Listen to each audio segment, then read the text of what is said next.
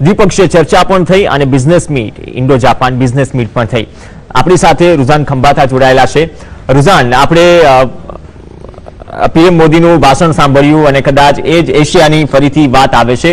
પરંતુ ફરીથી એ જ વાત આવે છે કે જ્યાં સુધી આપણે ચીનની બાબતમાં એવું થયું કે જે અત્યારે લઘુ ઉદ્યોગોની સ્મોલ એન્ડ મીડિયમ સ્કિલ્સ ઇન્ડસ્ટ્રીઝની જે હાલત છે, કદાચ આ નીતિમાં એક તરફ રોજગારી આપવાની તો વાત છે પરંતુ જે જગ્યાએ ઇન્વેસ્ટમેન્ટ થઈ રહ્યું છે વિદેશી રોકાણને કદાચ થોડું હળવું બનાવવામાં આવે અને એકબીજાને પૂરક બને વિદેશી રોકાણ અને નાના ઉદ્યોગો. એ- જે પ્રકારનું પ્લાનિંગ છે ભવિષ્યમાં એ કદાચ મેકિંગ ઇન્ડિયા અંતર્ગત સૌથી પિન પોઈન્ટ રહેશે ઇન્ડિયા માટે ડેવલપમેન્ટના લેવલ પર. સી વિદેશી રોકાણ તો આપણે બે હાથે વેલકમ કરી રહ્યા છીએ. કારણ કે ultimately at the end of the day આપણને એનાથી બે ફાયદા થાય છે. એક તો પૈસા આવે છે ને ટેકનોલોજી આવે છે અને આપણા લોકોને જોબ જનરેશન થાય છે. એટલે જે આપણો મેક ઇન ઇન્ડિયાનો પ્લાન છે તો પરફેક્ટ પ્લાન છે એમાં કોઈ ડાઉટ નથી. અનફોર્ચ્યુનેટલી થઈ અત્યારે એવું છે, તમને એક સિમ્પલ એક્ઝામ્પલ આપો. આપણે ક્યારની ચાઇનાની વાત કરીએ છીએ એટલે કહી દઉં.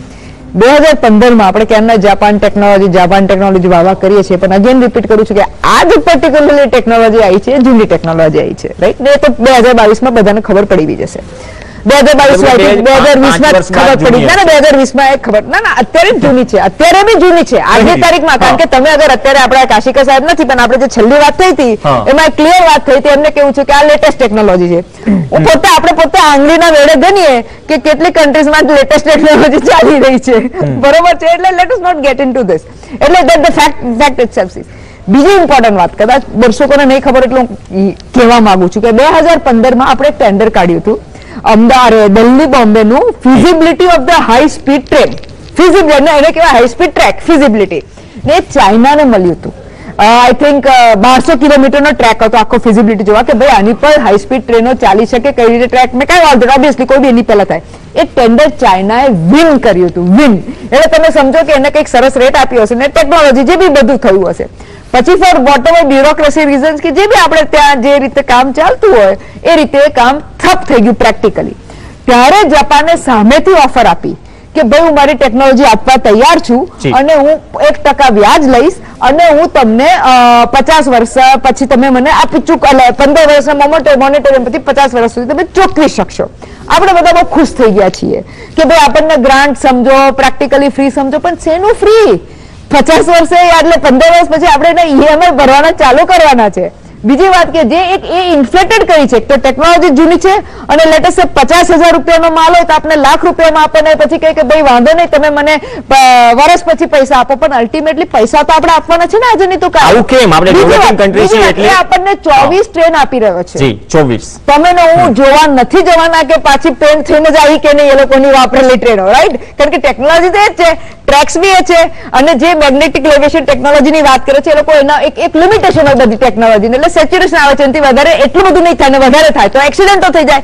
એટલે આપણે ત્યાં અટકી જવાના છીએ. એટલે મારો ખાલી આ જ રિઝર્વેશન છે કે આપણે જ્યારે બધી મોટી મોટી ટેકનોલોજી હાઈફાઈ ને આજની તારીખમાં મોદી સાહેબ પોતે કહ્યું કે પચીસ વર્ષમાં કેટલા ચેન્જ થયા છે. અગર પચીસ વર્ષમાં ચેન્જ થયા અને અમારા આઈટી ફિલ્ડના ટેકનોલોજી ફિલ્ડમાં તો એવું કહે છે કે હા, ત્રણ મહિને એટલે ઇક્વલ ટુ વન યર એટલે તમે એ સમજી લો કે ફરી રિપીટ કરું કે આપણે ત્યારે હાઈપર લૂપની વાત કરીએ છીએ બારસો કિલોમીટર પર આવરની વાત કરીએ છીએ અને ટેકનોલોજી બીજો બહુ ફાયદો સારો શું છે ખબર છે?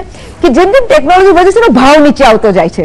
જેમ તમે કોમ્પ્યુટરમાં જોયું હતું. પહેલા આવી મોટી હાર્ડ ડિસ્કો આવી મોટી ફ્લોપી આવતી હતી, એ લેટેસ્ટ હજાર રૂપિયાની આવતી હતી. અત્યારે તો પેલી પેન આવે છે, કેટલા ફાઈવ થાઉઝન્ડ વધારે એ લોકોનું કેપેસિટી હોય છે, પણ એ અઢીસો રૂપિયામાં આવે છે બસો રૂપિયામાં આવે છે. એટલે વોટ આમ ટ્રાઈ ટુ સે કે આ અત્યારે આપણે અગર આની વાત કરતા હોય ને, હવે આપણે કરીએ કે અમે ટ્રેક નાખશું લેવિએશન કરશું, પછી શું કહેવાય, એમાં એમાં પાવર યુઝ થવાનું છે, એટલું યાદ રાખજો, એમાં પાવર યુઝ થવાનો છે. ત્યારે નવી ટેકનોલોજીમાં સોલાર પાવર ને વિન્ડ પાવર યુઝ થાય છે, જે આજે નવી ટેકનોલોજી છે. અને એ ટેકનોલોજી વર્ષ બે વર્ષમાં પ્રૂવ થાય. છેલ્લા ત્રણ વર્ષથી કામ ચાલી રહ્યું છે અને બીજી એક બે વર્ષમાં કમર્શિયલ યુઝમાં ચાલુ થઈ જશે.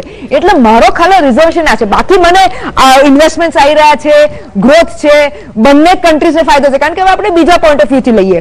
કે થયું એવું કે જ્યારે આપણે ચાઇના સાથે બહુ યારી દોસ્તી કરવાની કોશિશ કરી છે. Let us accept it let us be true to ourselves કોશિશ તો કરી અત્યારે અમુક પ્રોડક્ટમાં ભલે ભલે આપણે હું ફરી રિપીટ કરું છું કે આપણે ઇન્ડિયન્સ આપણે ટ્રુ ઇન્ડિયન્સ પેટ્રિયોટિઝમ બને. ભલે નાના મોટા ફટાકડા નહીં ખરીદ્યા પેલું પેલું પિચકારી હોલી નરંગની ખરીદ્યા જે બી નાની મોટી આપણે પેટ્રિયોઝી મનાય પણ અનફોર્ચ્યુનેટલી આજની તારીખમાં આપણી જ ગવર્મેન્ટ અત્યારે આપણે બહારની વાત નહીં કરીએ ગુજરાત ગવર્મેન્ટની વાત કરીએ. પેલી જે ટેબ આપી રહી છે એ ટેબ સાહેબ એની પાછળ મેડ ઇન ચાઇના લખ્યું છે.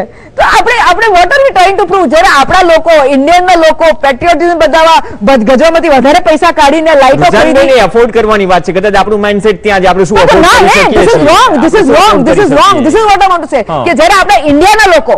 પેટ્રિયોટિઝમ નામે દેશભક્તિના નામે દેશ પ્રેમના નામે આપણે આપણા મોંઘી ચીજો ખરીદવા તૈયાર થઈ ગયા છે. પણ આપણે industrialist let me be very honest આજે આપણે એક વાત કરીએ હાઉસવાઈફની વાત કરીએ અહીંયા બેઠી છે હાઉસવાઈફ એનો જીવ જાણતો હશે કે એને એને પેલું શું કહેવાય ચાઇનાને બોયકોટ કરો એને પોતે જે ટ્યુબલાઇટ દિવાળીની લાઈટો હતી એને મોંઘી ખરીદી પણ નહીં ઇન્ડિયન ખરીદી. લેટ અસ એક્સેપ્ટ ને સામે ઇન્ડસ્ટ્રીયલ પોતાનો ધંધો કરવા પોતાની કે કરવા કોમ્પિટિશનમાં રહેવા માટે એ લોકો ચાઇનાથી કેટલા પ્રોડક્ટ ઇમ્પોર્ટ કરે છે. એટલે હું મારે એટલું જ કેવું છે તમને કે let us as as an Indian અમે અમે ડ્યુટી કરીએ છીએ. તો ગવર્મેન્ટે એની ડ્યુટી તો કરવી જોઈએ કે ના કરવી જોઈએ? મારે દરેક કન્ટ્રી સાથે એક જ થશે. પરંતુ નવો અધ્યાય શરૂ થયો છે જાપાન સાથે દોસ્તીનો. કદાચ ઇન્વેસ્ટમેન્ટની દ્રષ્ટિએ રોજગારીની દ્રષ્ટિએ કદાચ સારા પરિણામો આપે.